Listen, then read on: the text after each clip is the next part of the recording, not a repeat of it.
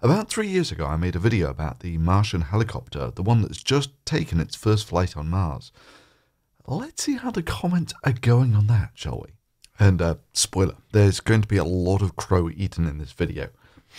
and I'm going to enjoy every second of it. Khaki, who is here just to remind Thunderfoot is wrong? Ingenuity, complete hop, checkmate, JPL 1, Mason 0. NASA pulled it off, and no, these videos are wrong. You should apologize. Yikes, this aged poorly. This video didn't age well. Laugh, laugh, laugh. Joe, ha, it flew. Your busted video is busted. Dom says, usually I agree with your busted videos, but calling this helicopter bullshit two years ago seems to have busted you. Lol, stick to low hanging fruit busting Kickstarter scammers. There's a reason why real scientists are working for NASA and SpaceX. Oh, God. Uh, and you're stuck here on YouTube. NASA just proved you wrong, and Elon will prove you wrong really soon. Wow. Looks like I've got some apologies to make here. I mean, gosh, it would be so humiliating, so embarrassing if I'd have actually busted this helicopter, then NASA had got it to work in spectacular fashion. I mean, they would have exposed me as this neo Luddite who just couldn't handle change. Someone whose science clearly isn't to be trusted. I mean, if I'm wrong about the Mars helicopter, then maybe I'm wrong about the uh, Elon Musk stuff too. Yeah, this would be super embarrassing. Good thing it never happened. Oh, yeah, someone has done something amazingly embarrassing, something incredibly humiliating. It's just, it's not me. But for those who wanted an update on the Mars helicopter, let's start with that. Now, it really cannot be overstated just how technologically impressive it is to fly something on another planet. I mean, first of all, you've got to get there, uh, which has difficulties of its own. So, take for instance Spirit and Opportunity. After six months in space, the first thing that you have to do is hit this incredibly narrow atmospheric window and lose some speed. Then you deploy a parachute and lose the heat shield, descend on a rope, inflate some airbags, fire the retros at exactly the right altitude in a second specific window then bounce around for a bit, deflate the airbags, maybe right the tetrahedron, and then have the rover unpack itself sufficiently unbumped by all of the knocks that it's had that it actually rolls off the platform in a functioning form. And I took a look at that and thought, no way, there's just so many things to go wrong. And I think that was in the back of NASA's mind too, which is why they sent two of them. However, no, both worked flawlessly. Then, some years later, came the Curiosity rover, which was a big boy and used something called Sky Crane to lower itself to the surface via a sort of rocket suspended platform.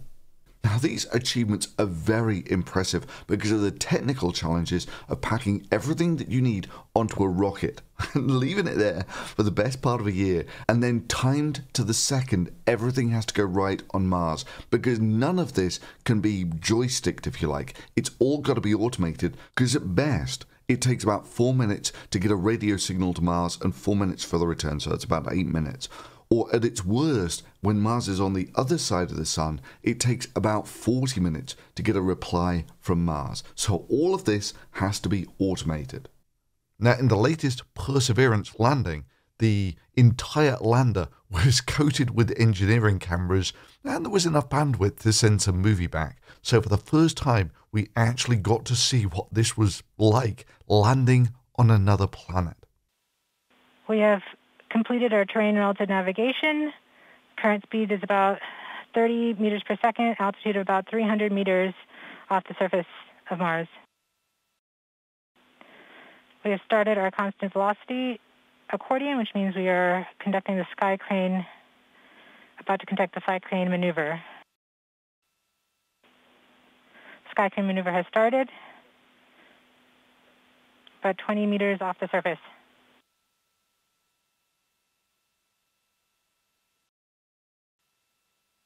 We're getting signals from MRO. Tango Delta. Touchdown confirmed. Perseverance Safely on the surface of Mars, ready to begin seeking. Yeah, this all had to be synchronized up later because, you know, speed of light and all that sort of thing.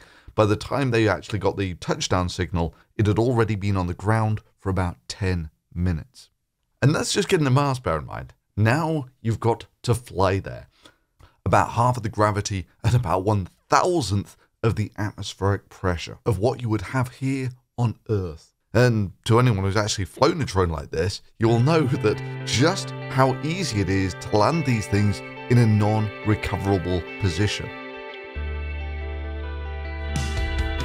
And what with the current lag time for light getting from Earth to Mars being about 10 minutes and 10 minutes back again, there is no way you could fly this thing um, by eyeballing it. It has to be flown completely automatically on its own software. Now, I did a video about this some um, years ago. Maybe now is a good time to revisit that and take a look what I actually said. For this helicopter, I reckon they've got coin flipping chances of being able to solve the power issue within the weight requirements. Another coin flipping chance that it will never make it to Mars in a flyable condition. And even if it gets there, I reckon you've got coin flipping type chances that it won't last longer than a week. Risky as hell, which is also pretty much NASA's assessment. It's high risk, high reward stuff, but it all checks out. There's nothing clearly stupid here. So, yeah, from immediate skepticism about this NASA helicopter, after running the numbers, it more or less checks out. Now, I reckon I'm going to need a bigger solar panel, eh, probably about three times this size, because honestly, I just can't see them running all of this on an effective continuous power supply of less than one watt. Okay, so I more or less agree with NASA's assessment. Uh, except maybe I say it needs a bigger solar panel or something. And yeah, wow, looks like they put a bigger solar panel on it. And what else did I say? I said they should probably angle that solar panel such the vibrations of the flight would shake the dust off. Gotta admit, I would also replace that solar panel from a plate to a mild cone. Because a plate, the dust will just accumulate on it and the solar panel will lose efficiency. If, however, it's a gentle cone, sure, you'll lose some efficiency on the solar panel, but on the upside, every time the drone flies, the dust will shake off the cone. Eh, just a thought. Which looks like it might have been a pretty sensible idea at this point. But it's conceivable that they had worries about, you know, this affecting the aerodynamics or something. I, I doubt it. A shed roof type design for the solar panels uh, probably wouldn't have had any, any effect on the aerodynamics and wouldn't have taken up any more space. One thing this drone absolutely won't be doing is doing any interesting flying whatsoever. It's going to be straight up, across, and down again. Nothing fancy, nothing risky so it seems like I was actually pretty much on the money with this one. You know, saying that it was difficult but possible, which was kind of basically just agreeing with NASA's assessment. The helicopter flew today. If you tried to outright bust this helicopter instead of just being skeptical, you'd be the biggest clown right now. Dodged a bullet there. Uh, oh, sorry, what? I, I looked at the evidence and concluded that it was entirely possible. You know, just like I looked at the evidence for solar roadways, hoverboards, and thorium powered cars. I looked at the evidence and concluded those were all dumb ideas, and I looked at the Mars helicopter and concluded it wasn't. There was no bullet dodging involved here, there was just science. Now, this was an isolated comment. Meh, I'd have let it go. However, the comment section is littered with stuff like this. Huh, if only there was some way of working out where they're all coming from. What, what, was that two comments up? NASA just proved you wrong, and Elon will prove you wrong really soon. Ah, it's the Musk fans. Probably brought on by the fact that after I show that there's nothing fundamentally wrong with the Mars helicopter, then go on to take a look at Elon Musk's presentation for Starship, where Elon Musk actually says multiple things that are fundamentally stupid at a high school level. This is what bugs me. I, took a look at this helicopter project with all sorts of skepticism, but it more or less all checks out. It's not fundamentally stupid. picturing your spacecraft out at Saturn using solar panels is just fundamentally stupid. It doesn't even pass high school levels of inspection. You know, if these solar panels generate some 200 kilowatts when they're by the Earth, that means that by the time they get out to Saturn, they're generating about 2 kilowatts of power, meaning that you have to sustain everyone on that spaceship with less than the power it takes to run a kettle. But it gets worse than that, because at the end of his presentation, he shows people getting off his magnificent spaceship onto Europa. Uh, problem with that is, Europa is right in the middle of Jupiter's screamingly radioactive Van Allen belts. Within hours, everyone there would experience radiation sickness, and within about 12 hours, they would have all been fatally exposed to radiation. And you just look like kind of a melon who doesn't really know what they're talking about when you then go on to explain how radiation in space isn't that big of a deal in Mars or elsewhere. Uh, sure. I, I mean, the, the, my view on the radiation thing is that there, there's certainly some risk of radiation, um, but it's not, it's not, um, it's not deadly. Um, there'll be some slight increased risk of, uh, of, of, cancer, uh, but it's, it's, I think, relatively minor. When you're sat in front of a picture where everyone traveling on your solar system exploring rocket has just been exposed to a fatal dose of radiation. So I actually think the radiation thing is, is, is um, it's often brought up, but I think it's not, not uh, too big of a deal. Fred Fred Bug. LOL. Stick to low hanging fruit busting Kickstarter scammers. There's a reason why real scientists are working for NASA and SpaceX. Oh, God. Uh, and you're stuck here on YouTube. I mean, the sheer level of cringe in some of these comments. Local man tries to disprove government funded scientific organisation yeah, sure. Local man would have no chance of debunking government funded research. Well, a major announcement today by NASA that a new form of life has been discovered, but for days the media has been anticipating it and discussing it. Uh, there's a life form. If you're getting your news from me, I want to make sure I cover this. There's a life form based on arsenic. But that also this could be about how NASA has a new way of trying to find extraterrestrial life. Well, a mysterious NASA press release sparking major attention. They're holding a press conference this time tomorrow afternoon to announce, quote, an astrobiological finding that will impact the search for evidence of extraterrestrial life. All right, Tom, let me start with you. They're touting this. They're the ones who use the terms extraterrestrial life. What do we expect? Yeah, a local man called that one bullshit straight away. And months later, yeah, it turned out it was all kind of bullshit. And it happened again about a decade or so later. Not with NASA this time, but with people like MIT this time, hyping the phosphine as a biosignature for life on Venus. Scientists might have just discovered signs of life on Venus. It feels game changing. It is so unexpected, but I never thought in my life that it would be something we should either look for or that we would find in Venus. Incredible news has just been announced by a team of astronomers, perhaps one of the most important discoveries in decades. Possible evidence for life has been announced on another planet, Venus. There's this Goldilocks zone in the atmosphere that is not too hot, not too cold, but just right for life and that's exactly where we found phosphine. My original work had said if you find phosphine on any terrestrial planet, it can only mean life. And that wasn't an outrageous claim until recently. Which, yeah, again, I was the voice in the wilderness explaining why that was all bullshit. And spoiler, a few months later, it emerged that it was all bullshit. Hey, this local man seems to do okay. I wonder how he would do against one of the world's top universities. Ah, Let's say, for instance, Berkeley if they were promoting something that was obviously bullshit. And so we have students that are um, both working with the Sutardja Center as well as the Jacobs Institute for Design. We're testing the boundaries of what you can actually achieve and in a practical sense of being able to take water out of this, um, uh, this type of atmosphere. Now you may think, what, seriously? University of California, Berkeley is in on this. yep. And this is where it gets kind of depressing. This guy is their chief scientist. and founding director. And he hasn't even looked at the simple thermodynamics. Seriously, here is the uh, interim faculty director of another Berkeley Institute, the Jacobs Institute, worrying about the design of a machine that you can trivially show is a non starter thermodynamically. Half in the Jacobs Institute have been really hands on involved.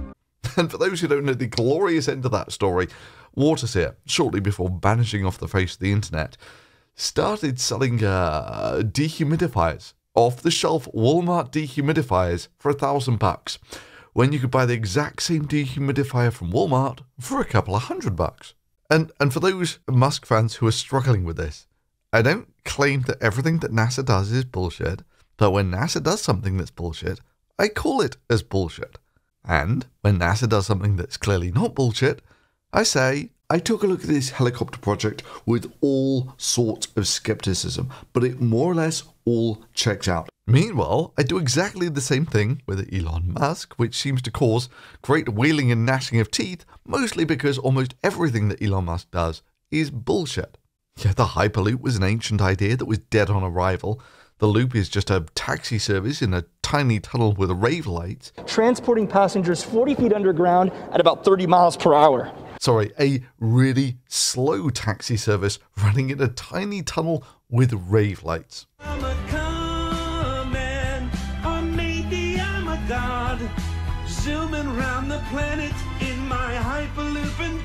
Yeah, there's an old saying it's easier to con people than to convince them that they've been conned. And this is probably nowhere more vividly seen than the Elon Musk fanbase, where, okay, cool, let's go to the Elon Musk fanbase to see why promising this and delivering this. No, this was all perfectly intentional. This was part of Elon Musk's brilliant fifth dimensional chess stratagem to reveal the pathetic slow moving taxis going through tiny tunnels. Because you may have heard about this Vegas loop before, but you may not have thought about how this is actually the master Trojan horse plan, and we know that Elon Musk is the master of Trojan horsing. But this is more like a highway underground, and because it's Las Vegas, this is also a thrill ride.